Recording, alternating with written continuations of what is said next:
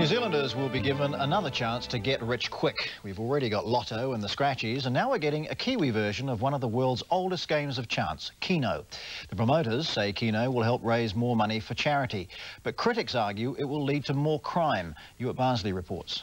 Daily Keno winning numbers. Numbers, numbers, numbers. And if you get it right, they add up to money, money, money.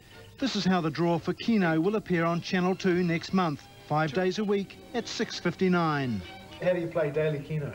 Keno players select up to a maximum of 10 numbers, between 1 and 80. In every daily Keno draw, 20 numbers are selected. If your numbers match, you're a winner. Anything from $2 to a million. But so far I don't normally win anything, so... No matter. In Keno, if none of your numbers are drawn, you can still be a winner. The game's promoted by the same organisation behind Lotto and Scratch Kiwis. We've got a stiff budget this year. We, we have to produce much the same as we produced last year, which was a record year, and we will need new products like Keno to make that. Keno's played in the States and Australia, but here... Keno, never heard of it. Keno, no, wouldn't have a clue what it is. I'll be playing that, for sure. Not everyone, though, is that enthusiastic.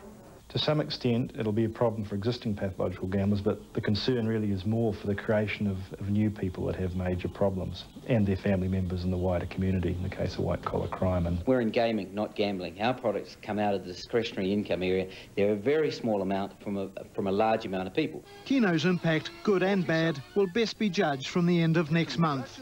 Ewart Barnsley, One Network News. And weekly sales of Keno are expected to be between 300,000 and a million dollars.